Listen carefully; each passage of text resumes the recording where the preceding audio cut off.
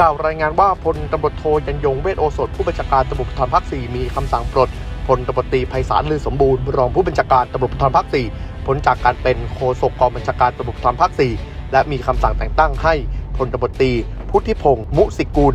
รองผู้บัญชาการตำรวจภูธรภาค4เป็นโฆษกกองบัญชาการตำรวจภูธรภาค4แทน มีรายงานว่าสาเหตุมีคำสั่งดังกล่าวเนื่องจากเมื่อวันที่ 6 ตุลาคม 65พลตำรวจตรีไพศาล ให้สัมภาษณ์ทางโทรทัศน์กับทีวีช่องหนึ่ง ถึงเหตุที่ศูนย์พัฒนาเด็กเล็กอบตอุทัยสวรรค์จังหวัดหนองบัวลำภู